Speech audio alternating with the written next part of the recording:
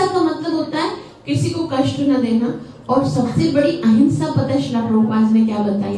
वो श्री प्रभुपाद ने कहा है कि सबसे बड़ी अहिंसा क्या है? श्रीमद भगवत गीता का प्रचार करना। हम सोचेंगे, भाई, ये कैसे अहिंसा हो सकती है?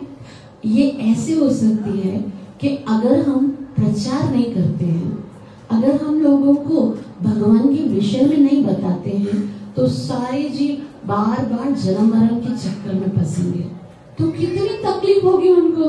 और अगर किसी को बचाया जा सकता है तो ये गीता का उपदेश देकर ही बचाया जा सकता है। इसलिए सबसे बड़ी अहिंसा क्या है? प्रचार का कार्य करना।